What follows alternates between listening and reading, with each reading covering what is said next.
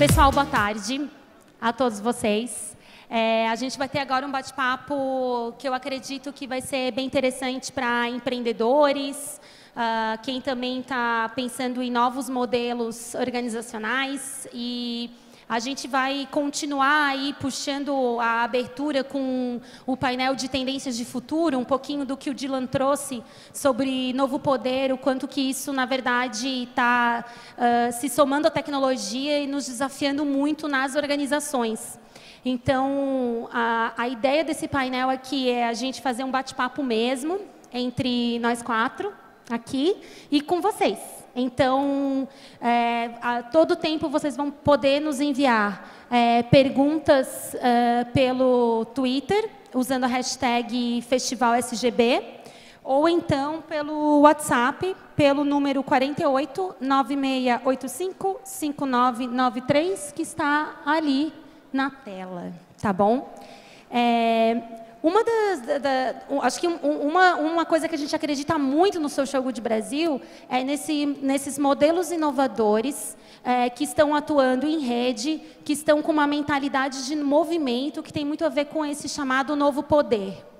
É, que pensam em modelos de negócios diferentes também, apoiados na multidão. Ah, e dentro dessa proposta, a gente vê que existe aí uma nova classe de organizações do futuro que estão, de fato, fazendo de maneira muito diferente. É, e aí, para a gente começar o papo, eu vou aqui começar, começar pelo Antonin, que ele veio lá da França, para ele falar um pouquinho para a gente o que, que ele acredita que é uma organização do futuro. Mas antes, fala um pouquinho do We Share Fast vale a pena para o pessoal conhecer um pouco mais o que vocês estão fazendo e que a gente trocou uma ideia que surgiu no mesmo período que o Social Good Brasil surgiu. Então, existe aí um, uma mudança coletiva no mesmo período acontecendo. Achei muito bacana.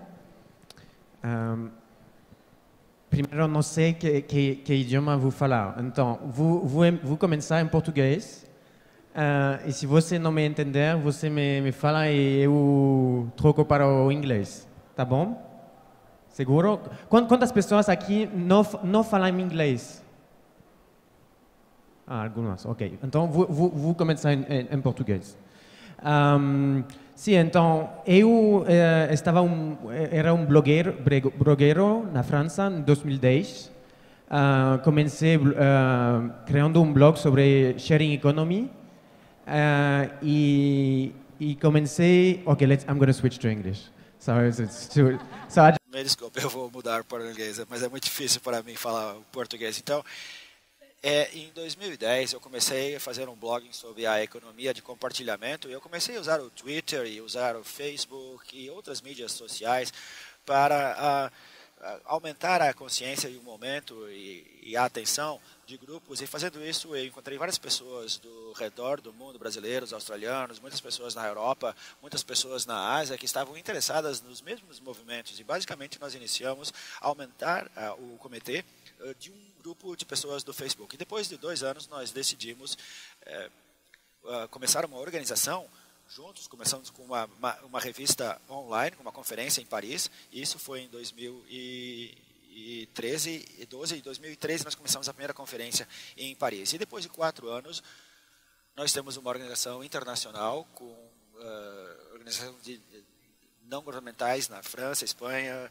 Alemanha, agora no Brasil, Canadá é o próximo. E o que nós fazemos é nós organizamos eh, seminários parecidos com esse, onde basicamente o que nós tentamos a facilitar conversas que tenham sentido entre os pessoas que fazem políticas, grandes corporações, entre a, society, a sociedade sobre o futuro que nós queremos. E tem alguns poucos lugares onde essas conversas podem acontecer, porque a maior parte de nós, nós ficamos em nossas pequenas bolhas, e nossas bolhas podem ser uh, o ativismo social, mas não há vários lugares onde que essas conversas podem é, acontecer com pessoas que não são é, como a gente, que não acreditam nas mesmas coisas que a gente. Então, não existem muitos lugares onde essas conversas podem acontecer. Nós também compartilhamos um laboratório do futuro do trabalho, porque nós somos uma organização completamente descentralizada. Isso significa que nós usamos ferramentas é, online são ferramentas uh, online que a gente pode fazer decisões ao mesmo tempo juntos e decidir juntos sobre os orçamentos, para onde iremos investir o dinheiro dentro de sua organização. E dessa maneira, nesse momento, existem centenas de pessoas ao redor do mundo e 80 conectores, uh, os embaixadores que decidem juntos sobre o futuro desta organização. Então, todas as vezes que nós precisamos fazer uma decisão bastante importante, uma decisão que tenha impacto bastante grande sobre uh, o WeShare, nós usamos essas ferramentas e decidimos conjuntamente. E nós confiamos num princípio que é o consenso. Quer dizer, nós todos temos que concordar sobre uma decisão. Se uma pessoa não concorda, nós mantemos é, a conversa para que nós consigamos resolver a tensão eh, e as dúvidas que essa pessoa possa ter sobre o futuro da organização. E o que, que essa traz é, em consequência é bastante confiança, atenção e também o empoderamento de todos que estão participando e fazem parte da organização. Bem bacana, Antônia, assim, pensar num modelo de organização tão descentralizado, né? Acho que tem bastantes desafios e oportunidades. Antes de voltar para te falar um pouquinho mais disso, eu vou passar a palavra para Camila, ah, para ela falar um pouquinho para a gente uh, o que, que você considera que são as organizações do futuro. Né? A Antônia deu o caso do WeShare. Uh, e só para dar assim um panorama, uh, é muito bacana, vocês estão vendo assim que tem bastante gente da rede, da Red Bull, é, a Mapico aqui convidada no evento, tem o, o Lounge lá fora e a gente estabeleceu uma parceria institucional, né? Social Good Brasil Red Bull por ter valores em comuns nesses tipos de organizações que a gente está vendo que são do futuro. Então, fala aí, querida.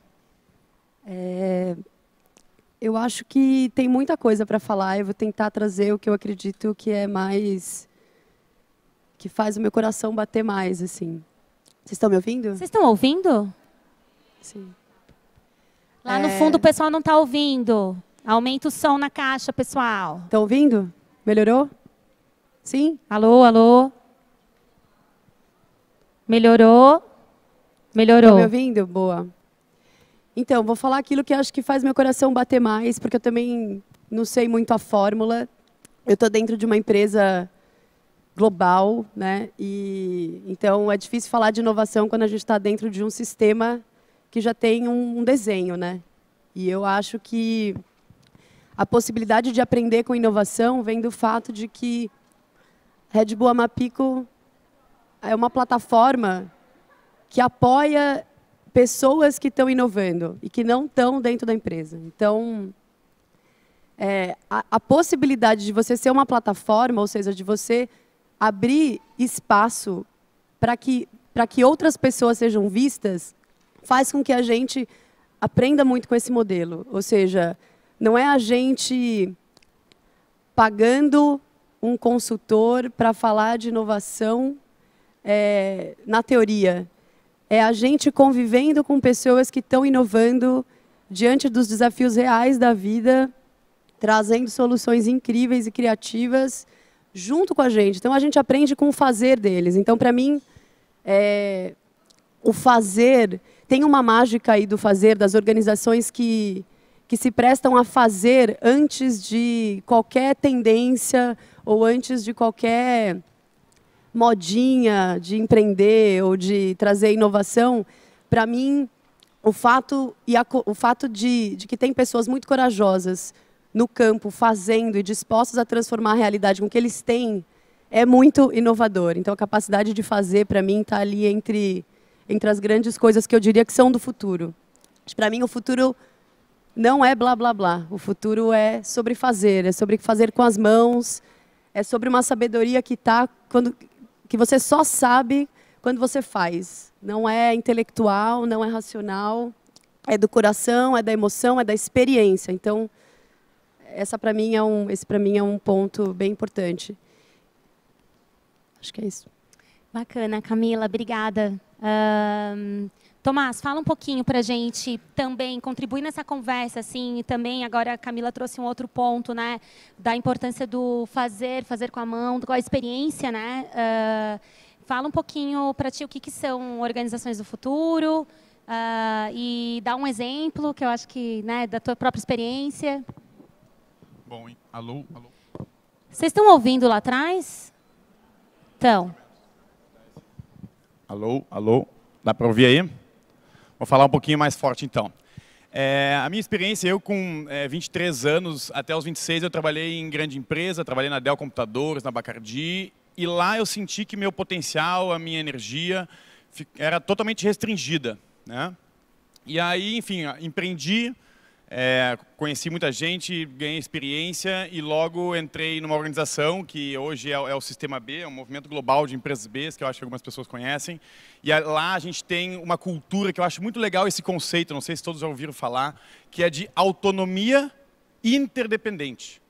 Eu acho muito legal essa ideia de tu ter uma autonomia, que é uma certa liberdade, é liberdade, mas ter a interdependência de tu entender que o teu movimento ele tem objetivos. A gente tem objetivos, né? Usar a força dos negócios para causar impacto positivo na sociedade. E para isso a gente tem metas. Aumentar o número de empresas B, ajudar que as empresas B sejam melhores empresas B para a sociedade e meio ambiente. E essa autonomia que eu tenho, que está intrinsecamente conectada, de forma interdependente aos objetivos de outras pessoas que estão trabalhando no Sistema B, em 10 países diferentes, e são 50 pessoas geniais, incríveis, cada uma com a sua cultura. No Peru é uma cultura, na Colômbia é uma outra cultura, na Argentina é outra cultura, e deixar essa abertura, para mim, é uma coisa que ainda as grandes organizações têm dificuldade. Óbvio, porque elas são estruturas hierárquicas enormes, têm objetivos gigantescos e muitas vezes é difícil de dar essa abertura. E aí uma das coisas que eu acho muito legal, é, antes de falar de, de exemplos, é, até, apesar de o sistema B ser um, para mim é como trabalhar, trabalhar isso dentro das grandes organizações. Né? Isso para mim é o que eu tenho trabalhado, tenho estudado muito e tenho praticado. Eu gostaria de perguntar aqui, quem já ouviu falar ou conhece Art of Hosting? Levanta a mão. Olha que legal, já tem aí, vamos lá, uns 20% das pessoas.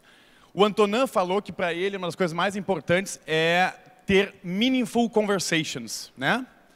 O Art of Hosting, que é a arte de anfitriar conversas significativas, para mim é uma ferramenta poderosíssima para tu trazer para qualquer tipo de empresa, desde a maior empresa do mundo de cadeia de fornecimento de suprimentos, de carros, de que for.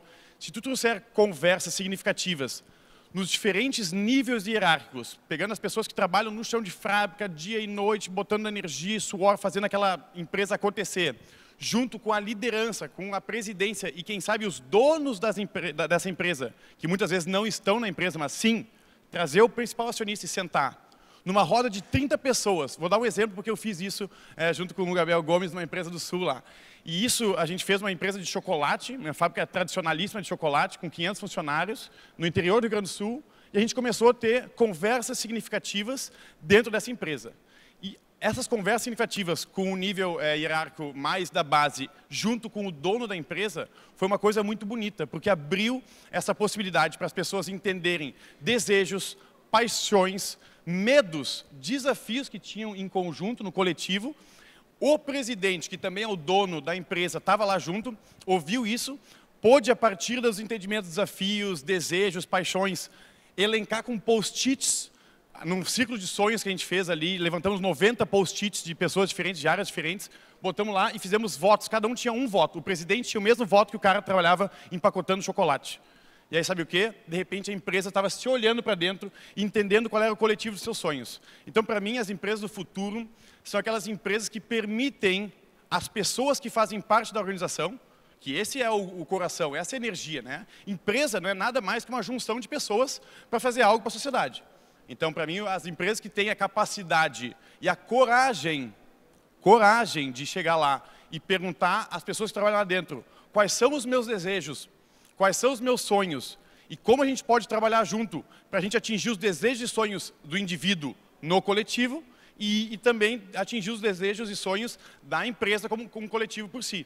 Tá? Então, para mim, essa, essa coragem, capacidade de fazer isso, e ainda olhando com os desafios atuais do presente, né, inovação. O que é inovação? As pessoas, ah, inovação é olhar para o futuro. Futurismo, vai acontecer isso, vai acontecer aquilo. Tem um, um empresário chileno, chama é, Tomás Quineo, que é do, da, da, de uma empresa B chilena que trabalha com óculos, e ele falou assim, é, para mim, inovação é olhar para o presente e entender como melhorar o presente a partir dos desafios sociais e ambientais. E aí, fazendo isso, entendendo o que o coletivo pode fazer em conjunto e andar para frente. Basicamente, seria isso. Show, Tomás. Tá, tá funcionando esse microfone? Vocês estão me ouvindo? É, acho que tu fez um, um, tu fez um link perfeito uh, com a fala da Camila aqui, né? Então, é, inovação, a gente também uh, tem que estar atento que é, na verdade, colocar uma ideia na prática, implementar, acontecer, né? Ela não fica no nível da invenção, ela vai para a rua Uh, e ela faz a diferença real na vida das pessoas. Então, da gente olhar para o futuro, entender como ele impacta, mas é, é, na verdade, como que a gente traz isso bem para o dia a dia, né? Então, colocar o pé no chão também para esse processo. Eu acho que trouxe outra, um outro ponto que eu queria voltar para o Antonin, que é essa questão também que mexe, para ter essas conversas significativas, é, dentro da, uh, das organizações, os ambientes descentralizados ajudam, né? É, fala um pouquinho mais assim, o que, que tu percebe que é importante para as lideranças, para os empreendedores, para as pessoas que estão optando por organizações descentralizadas. Que tipo de postura ter também? Sure. So, uh, toda vez que nós falamos sobre quais são as capacidades que nós estamos analisando ou vendo como quando um novo membro pode entrar, na WeShare e quais são as capacidades que um líder dessas organizações descentralizadas devem ter, a coisa número um que eu analiso é esta pessoa tem consciência de si própria, isso quer dizer essa pessoa sabe, conhece a si mesmo, porque se você se conhece, você consegue navegar por uma organização que é descentralizada com governo colaborativo, porque o que está acontecendo nessas organizações descentralizadas colaborativas? Não há chefes, ela é, é plana, então não há pessoas para quem você possa reclamar numa organização normal, é, é, estruturada em hierarquia, você pode reclamar, você pode ir para o seu chefe quando não está contente e, e dizer que, olha, não está do meu agrado, eu acho que entre a empresa há coisas que precisam ser mudar. E numa organização descentralizada isso não acontece. Então nós podemos falar com o coletivo, mas o coletivo junto precisa achar uma solução ou você, por você próprio, vai ter que achar uma solução. E então, como que uma pessoa se torna autoconsciente? Não sei. Isso eu não sei e eu não tenho a resposta. Mas o que eu sei é que não há uma outra maneira para liderar uma empresa como essa ou, ou ser feliz e achar sentido nessas organizações. Então, essa é a razão pela qual a organização como o WeShare é, são lugares onde as pessoas podem se transformar, porque você está se confronta com o seu lado negro, com as coisas que você não quer ver todo o tempo ah, em relação a você mesmo, mas você tem que encarar. É como ir ao psicólogo, é, e é muito mais rápido, porque você vai aprender muito a respeito de si mesmo. Então, outras coisas que muitas pessoas me perguntam é de onde que eu devo começar? Por onde? E muitas pessoas jovens aqui na sala, e vocês podem até se pensar, é, eu sou interessado em novas organizações, mas não está muito claro por onde eu devo começar.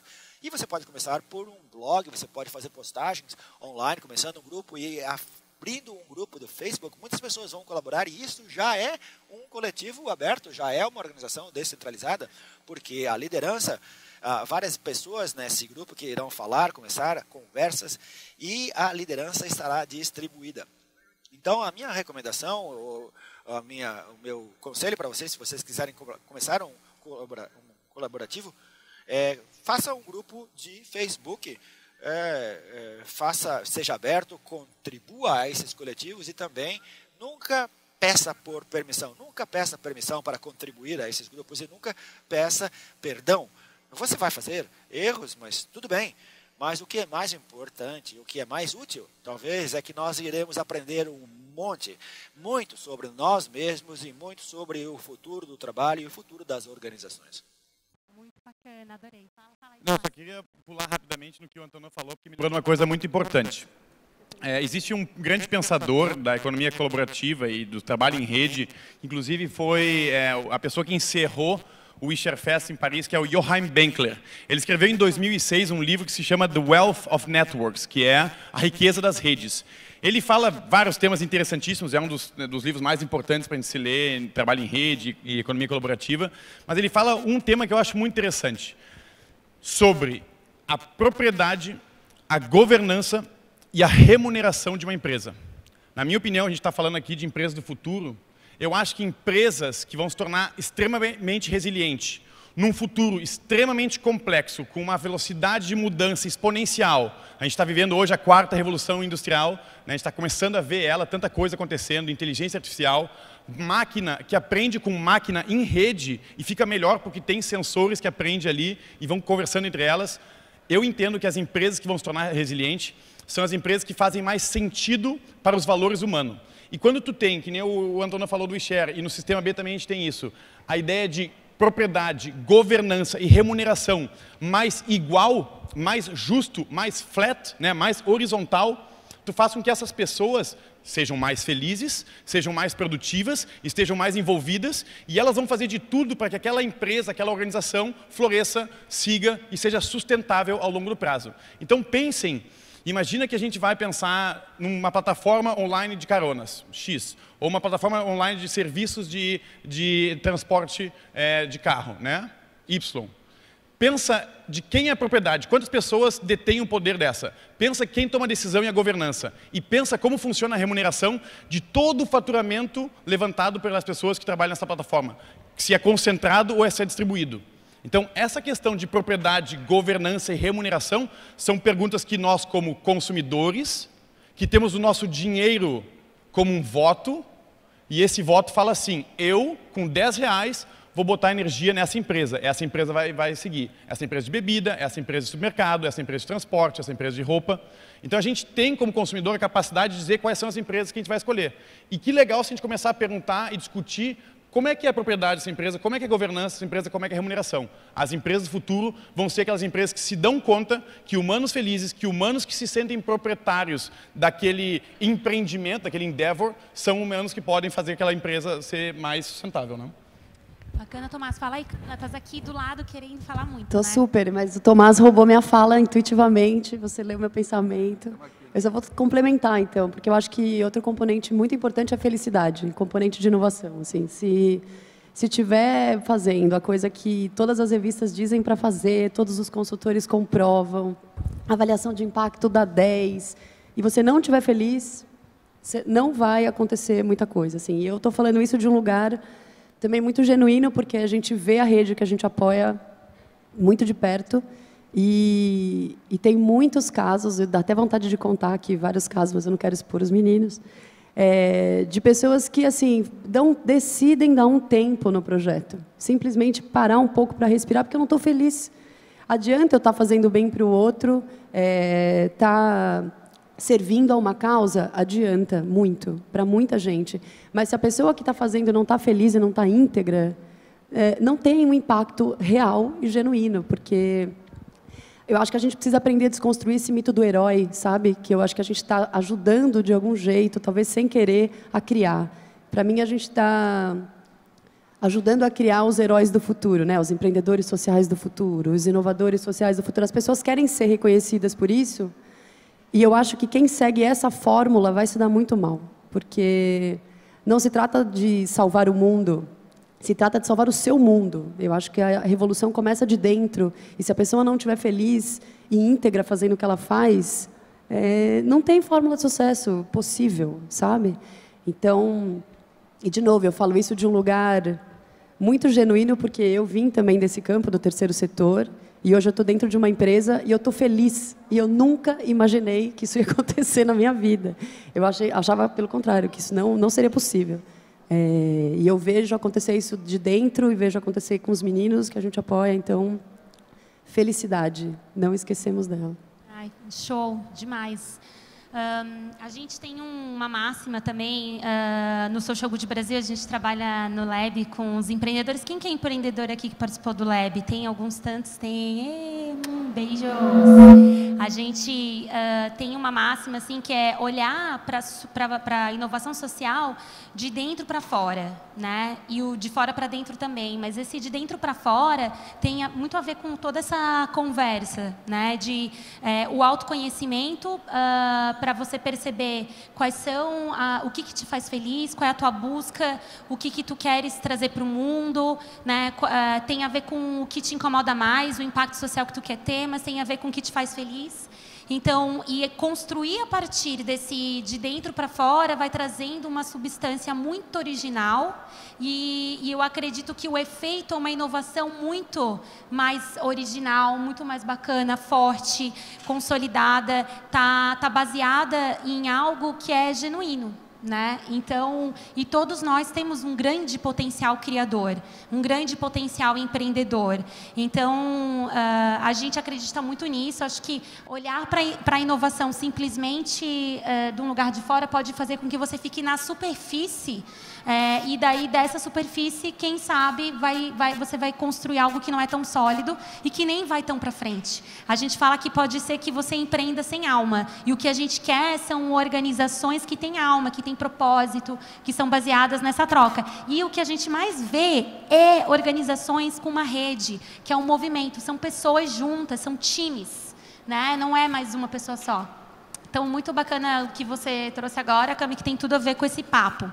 E a gente tem perguntas, tá? Vocês podem fazer perguntas para uh, ah, tanto o pessoal que está aí no, ao vivo na internet, uh, todo mundo aqui, pela hashtag, pelo telefone de WhatsApp que está ali na tela. Mas a primeira pergunta que a gente tem, na verdade, é de uma organização do futuro, que é o nosso casal Tamura.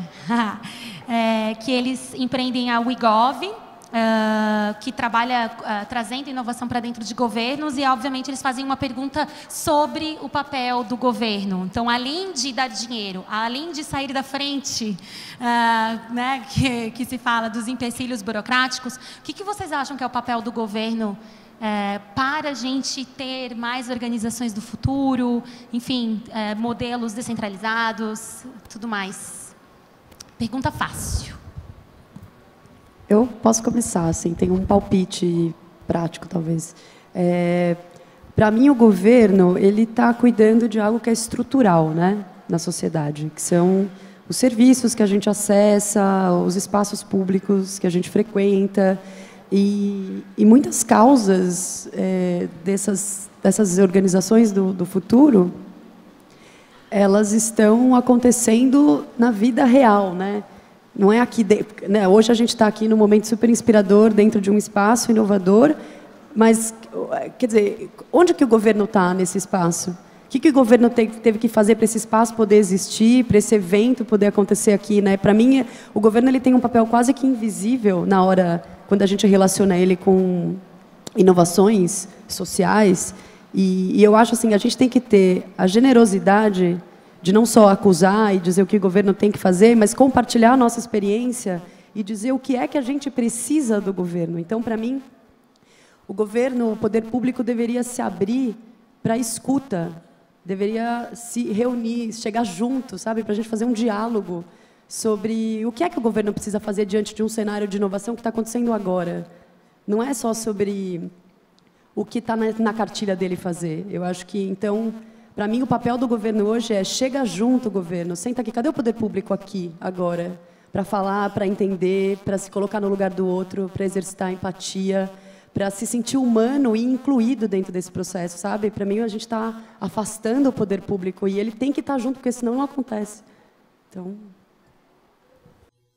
Se analisarmos todas as mudanças que estão acontecendo ou aconteceram nos últimos 10, 20 anos na internet, a internet basicamente mudou tudo, mudou a economia, a sociedade, as organizações. E a única coisa que ainda não mudou é a democracia e os governos. Então nós precisamos um governo do futuro também e os governos do futuro deveriam ser mais parecidos com a internet e a, a, internet é uma organização descentralizada ela tem mais mas eles deveriam ter as mesmas conexões você deveria ter ah, conexões ou acesso como tem a internet, eu acho que os governos do futuro também serão mais descentralizados. Eles serão é, é, estados parceiros, eles devem se engajar em conversas com pessoas como nós. Então, quem aqui nessa sala trabalha para o governo nacional, local?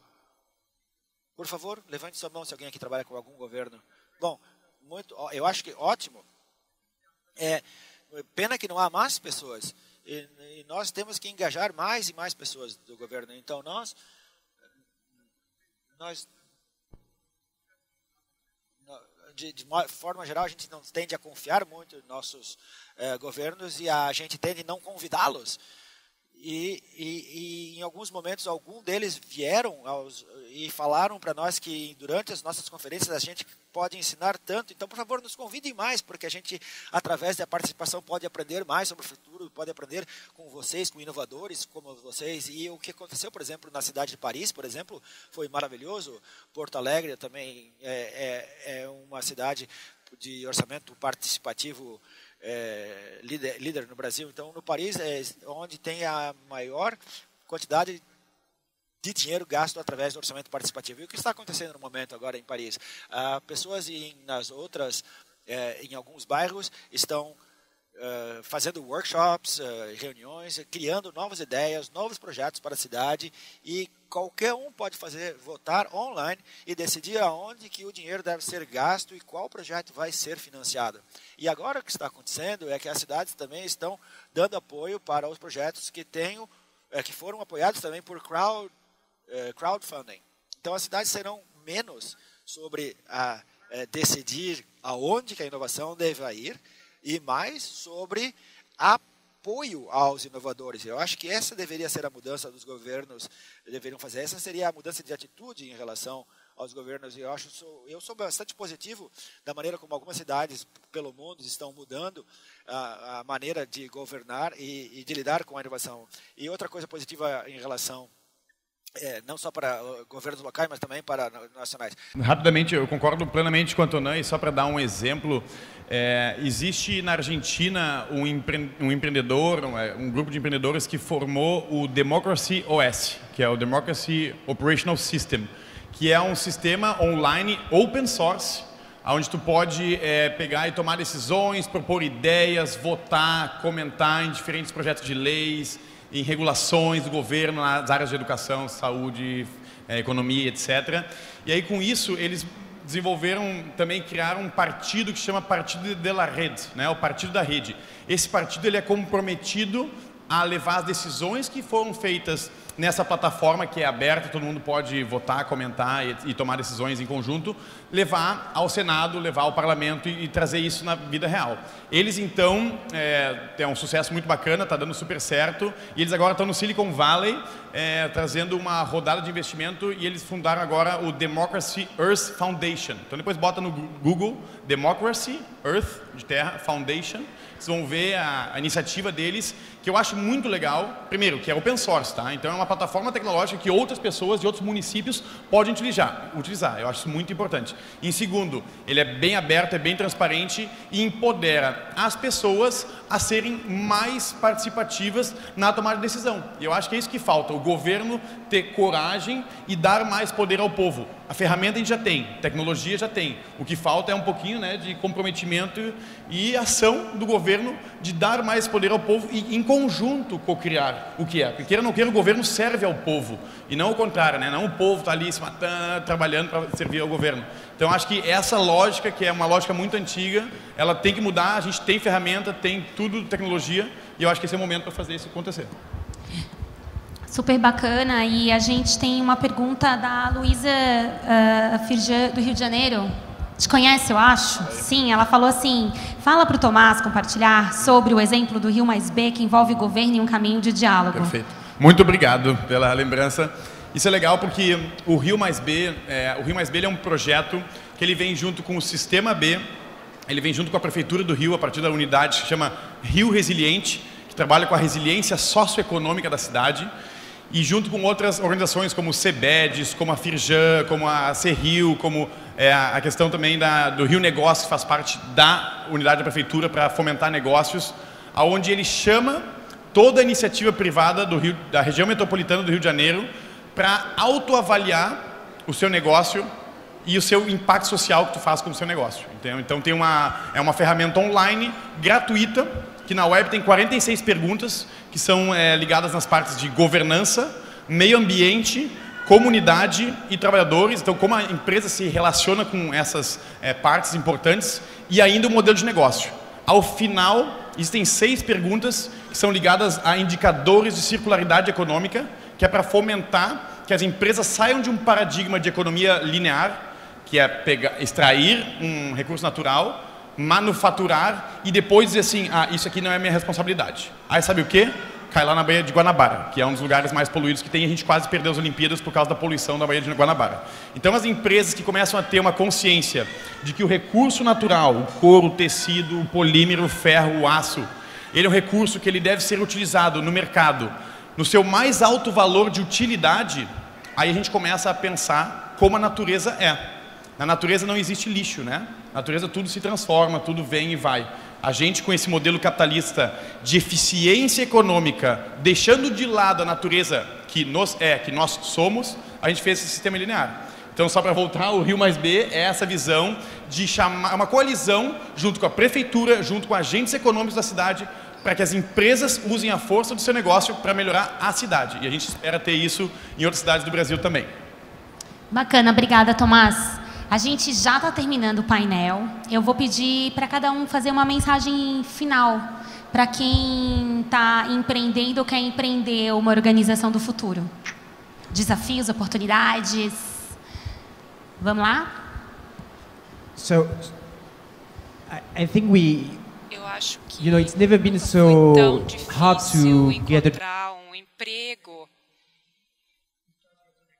e também nunca foi tão difícil começar, nunca foi tão fácil começar seu próprio negócio, achar os meios, os instrumentos, nós temos tudo online. Então ficou mais fácil enfrentar os desafios, os problemas. Se tem um problema na vizinhança, na cidade, é criar um grupo, usar ferramentas online para achar soluções para esse problema. E se você ganha momento, se você cria um grupo cada vez maior, mais cedo mais tarde, vai ter o apoio da cidade. E aí é que entra a questão de da relação do governo com os cidadãos e as mudanças que estão vindo. Temos tantos cidadãos que já estão é, mexendo nessas questões, estão contribuindo para projetos, criando movimentos e se envolvem por dois, três, seis meses, porque depois é que começa a mágica. Os primeiros meses é que são os mais difíceis. Depois que você consegue mais adeptos, mais pessoas se interessando, aí a coisa vira mágica. É, eu acho que eu vou reforçar o que eu já já disse de alguma forma. Para mim, assim, eu acho que quem quer inovar, quem quer empreender sua própria história, precisa, antes de seguir modelos e cartilhas, é, precisa entender algo que, que é real, que está possível e acessível para fazer agora, já nas suas mãos. É, então, não, não caiam na armadilha de só porque vocês tiveram uma ideia incrível, já querer que alguma aceleradora pegue, que alguma incubadora nutra. O que eu acho importante é, antes da gente já ir para para essa história de querer empreender e, e, acelerar e crescer, a gente precisa entender o que é que a gente está fazendo, por que, que a gente está fazendo e, e criar consciência mesmo sobre essa história, porque a partir do momento que a gente se entender parte do que a gente está empreendendo, eu acho que daí o caminho é saudável para o crescimento. Se a gente fizer isso só porque é uma ideia incrível ou porque alguém falou que é incrível, tá vendo? Não dá certo. é um sinal. É, acho que é isso. Sigam o coração, menos a razão. a Camila e o Antônio falaram bem, eu acho, de empreendedorismo. Eu vou falar um pouco do outro lado, que é de empresas. Eu, particularmente, sendo bem pragmático, eu acredito que muita coisa nova, muita coisa mais aberta, muita coisa interessante e algumas, algumas empresas dentro desses movimentos que eu vou citar, elas têm um cuidado elas têm um caminho de desenvolvimento para uma governança mais aberta, buscando mais autonomia, buscando mais um cuidado. E os movimentos são o movimento que eu participo já há três anos, que é o Movimento Global de Empresas B, que já tem duas mil empresas certificadas no mundo. E existe o movimento Yunus Negócios Sociais, também que é incrível. Eles têm todo uma, um modelo de governança e um modelo de ide ideal de como usar o negócio para impacto muito interessante. O movimento do capitalismo consciente também é um movimento crescendo e internacional também cada vez mais presente.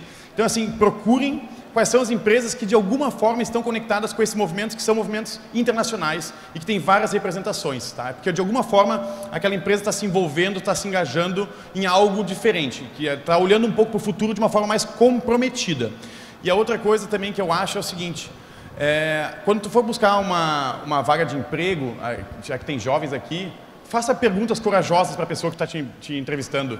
Pergunta para ela como é que é a governança, como é que é a tomada de decisão, se as pessoas têm liberdade para ser inovadores, se a empresa de fato tem boas práticas socioambientais e se ela faz algum tipo de autoavaliação recorrente, anual das suas práticas. Muitos caras que vão estar te entrevistando vão pensar assim, uh, vai ficar aqui meio... Né? Mas é, esse tipo de pergunta, primeiro, eu acho que é muito importante que traz uma consciência àquela pessoa e te ajuda a decidir aonde tu vai colocar a coisa mais valorosa que a gente tem, que é o tempo. Não vamos vender nosso tempo para empresas que não valorizam a nós e a natureza. Ponto. É isso. Arrasou, só Tomás. isso, só isso, né, Tomás? Arrasou.